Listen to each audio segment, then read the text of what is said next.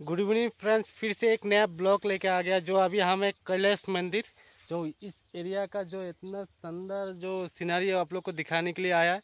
जो देखिए आप लोग, कितना अच्छा है। देखने में नेचुरल है, एकदम पूरा ब्यूटी जो इधर भी है, इधर भी है, दोनों साइड आप लोग देख सकते हैं। आप लोग को